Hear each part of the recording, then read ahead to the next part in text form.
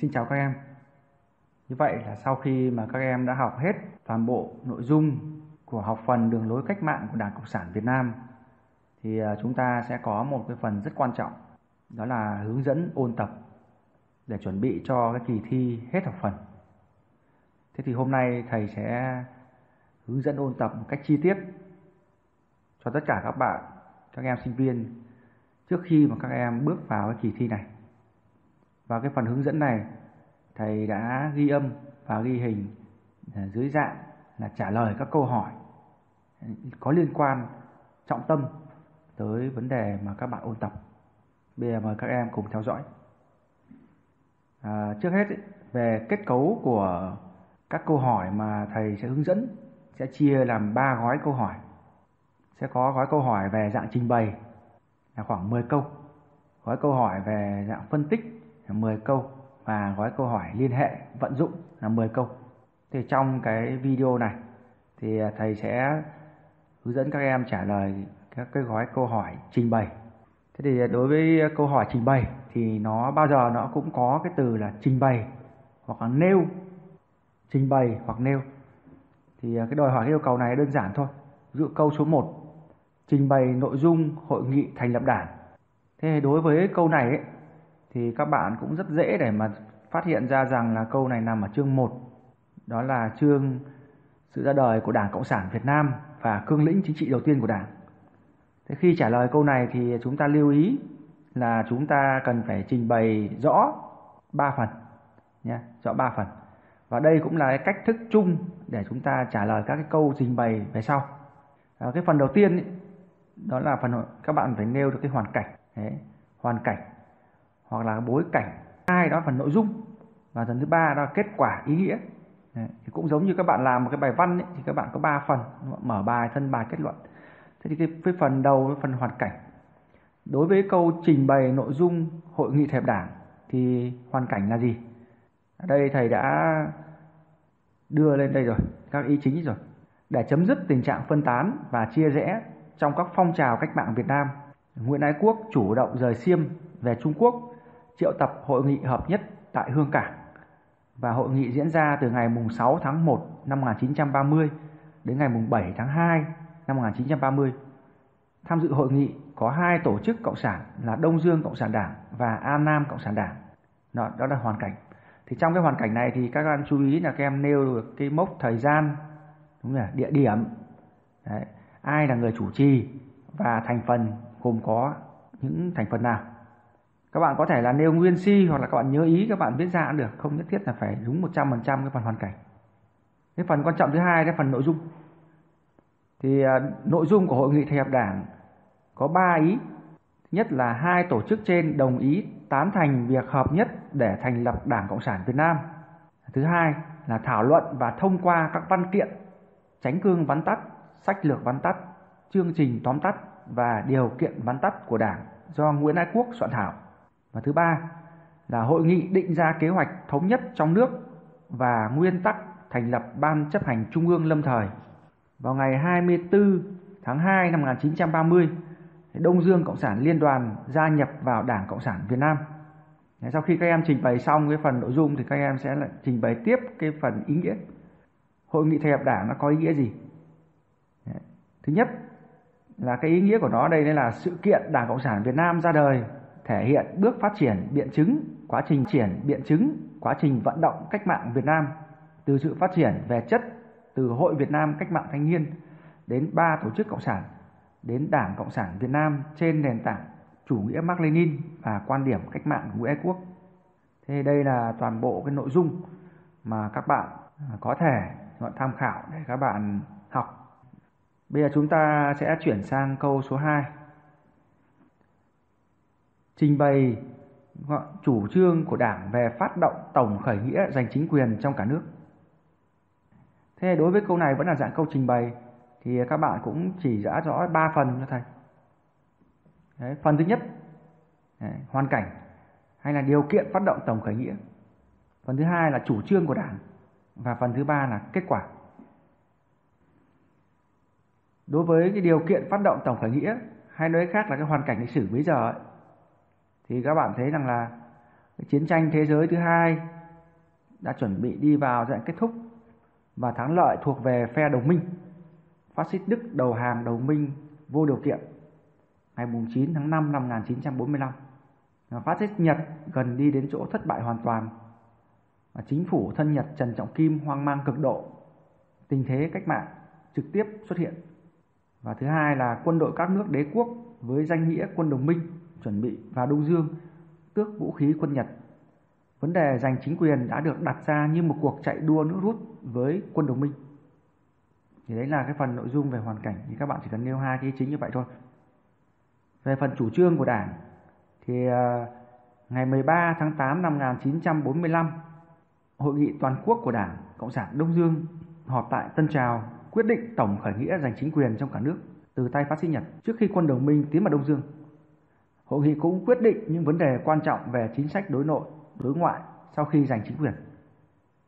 Vào ngày 16 tháng 8 năm 1945, Đại hội Quốc dân họp tại Tân Trào quyết định tổng khởi nghĩa do Đảng Cộng sản Đông Dương lập Ủy ban Dân tộc Giải phóng do Hồ Chí Minh làm chủ tịch. Ngay sau Đại hội Quốc dân, Hồ Chí Minh đã gửi lời kêu gọi đồng bào cả nước. Giờ quyết định vận mệnh dân tộc đã đến. Toàn quốc đồng bào hãy đứng lên đem sức ta tự giải phóng cho ta. Và kết quả thì à, dưới sự lãnh đạo của Đảng từ ngày 14 đến ngày 28 tháng 8, cuộc tổng khởi nghĩa đã thành công trên cả nước. Chính quyền về tay nhân dân. Ngày 30 tháng 8, vua Bảo Đại thoái vị và giao nộp ấn kiếm áo bào cho đại diện chính phủ lâm thời nước Việt Nam Dân Chủ Cộng Hòa. Ngày 2 tháng 9, tại quảng trường Ba Đình, Hồ Chí Minh thay mặt chính phủ lâm thời đọc tuyên ngôn độc lập, tuyên bố với quốc dân đồng bào, nước Việt Nam Dân Chủ Cộng Hòa ra đời. Đó. Thế thì à, cũng giống như cái câu số 1, câu số 2 này các em cũng chú ý là các em làm rõ được ba cái phần đó. Tất nhiên là khi các bạn làm bài thi thì các bạn không nhất thiết là các bạn phải phải nêu ra là à, nó có 3 phần, một là cái phần này, hai là phần này, ba là phần này mà chúng ta cứ trình bày liền mạch thôi.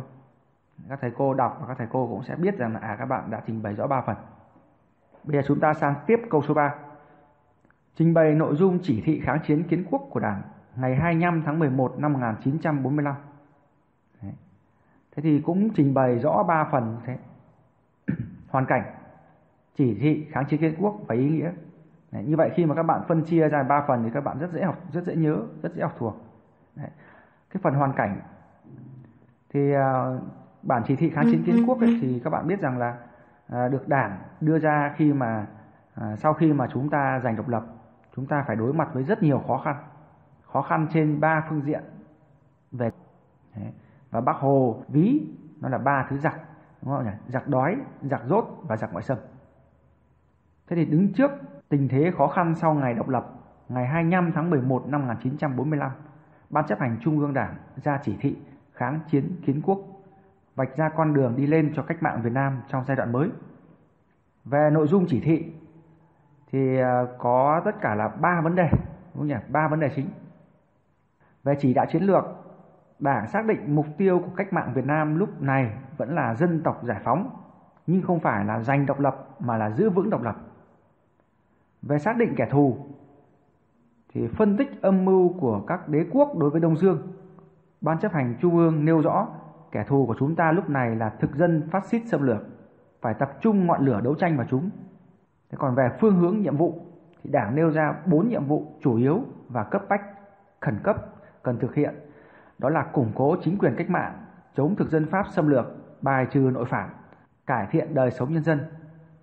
Và Đảng cũng chủ trương kiên trì nguyên tắc thêm bạn bất thù, thực hiện khẩu hiệu Hoa Việt thân thiện đối với quân tưởng và độc lập về chính trị, nhân nhượng về kinh tế đối với Pháp. Thế còn về phần ý nghĩa thì bản chỉ thị kháng chiến kiến quốc đã làm sao ạ? Đã giải quyết kịp thời những vấn đề quan trọng về chỉ đạo chiến lược và sách lược cách mạng trong tình thế mới vô cùng phức tạp và khó khăn của nước Việt Nam Dân Chủ Cộng Hòa vừa mới khai sinh. Thực hiện chủ trương trên, Đảng và nhân dân đã giành được những kết quả có ý nghĩa to lớn trong việc bảo vệ nền độc lập của đất nước, giữ vững chính quyền cách mạng, bước đầu xây dựng nền móng cho một chế độ mới, chuẩn bị cho những điều kiện cần thiết trực tiếp cho cuộc kháng chiến toàn quốc sau đó. Dạ.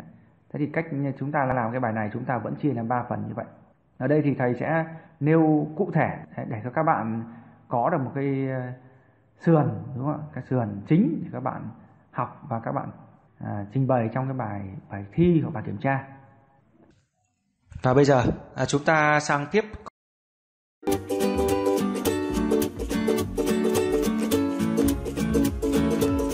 à, à, chúng ta sang tiếp câu 4 trình bày đường lối kháng chiến của Đảng những năm 1900, 1946, 1950.